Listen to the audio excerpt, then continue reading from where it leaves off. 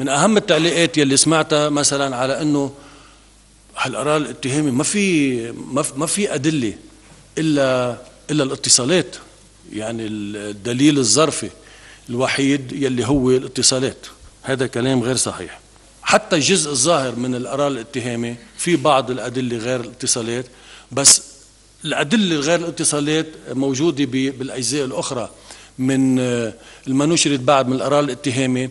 وهذا يلي بيفسر قول رئيس المحكمة من يومين بتصريح له بقوله إنه يجب أن ينشر القرار الاتهامي. قصده يجب أن ينشر كل القرار الاتهامي قبل بدء المحاكمات تتكون كل الناس على بينة من كل الأدلة الموجودة بهالقرار الاتهامي. تعطي بس مثل صغير عن عن بعض الأدلة الغير ظرفية الأدلة المباشرة الموجودة حتى بما نشر من القرار الاتهامي بروح عن نقطة 52 بصفحة 18 مطرح لما بيحكي عن وقد عثر على بعض أشلاء الانتحار التي رفعت من مسرح الجريمة. هذا الدليل طبعا غير ظرفي ابدا. واثبت التحليل الجنائي أنها تعود إلى ذكر وليس إلى أبو عدس فاذا هيدا واحد من الأدلة على وجود أدلة غير ظرفية في الجزء اللي نشر حتى لهلا من القرار الاتهامي على سبيل المثال للحصر.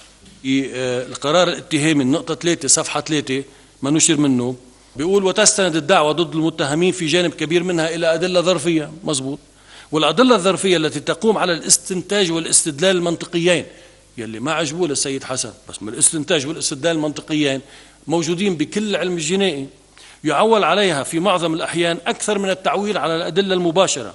التي يمكن أن تتعرض لفقدان الذاكرة المباشرة أو لالتماس الأمر على الشاهد العيان. وفي القانون مبدأ مسلم به يفيد بأن الأدلة الظرفية مماثلة للأدلة المباشرة. إنه في حدا بيختلف مع الثاني وبيشيل قنبلة هيك وبيكب على الثاني بموقف مكتظ بناس وسيارات. بيقول سيد حسن هلأ نحن عم بيشك فينا طالعين على علي؟ تنبعت رسالة؟ لك يا سيد حسن من امبارح ب 3 ب 18 كانون الثاني تحديدا 2011 يعني من قديش بيطلعوا هودي من خمسة شهور؟ كانون الثاني ست شهور سبعة شهور؟ من سبعة اشهر إنه وقت نزل الشباب بالقمصان السود يوم الثلاثاء المشؤوم إنه هي أول مرة بتبعتوا رسالة لحدا؟